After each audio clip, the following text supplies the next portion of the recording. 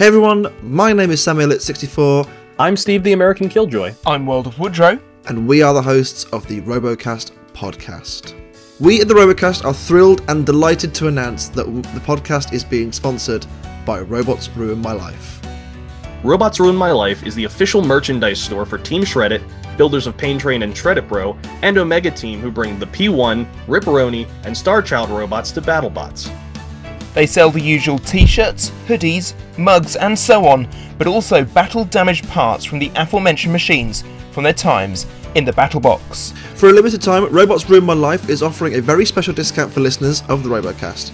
If you use the code Robocast, that's R O B O C A S T at checkout, you give a massive 25% off your entire order.